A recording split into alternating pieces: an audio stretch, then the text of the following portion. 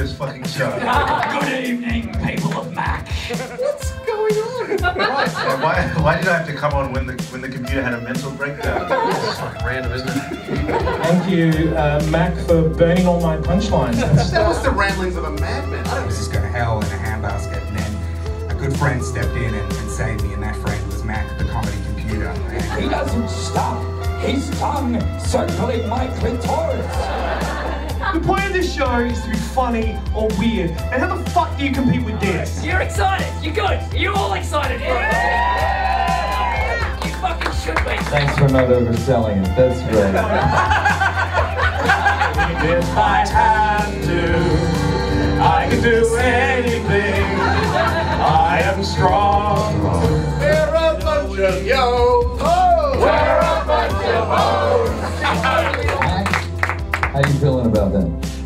And it's not been piped in! Oh, shit. He said,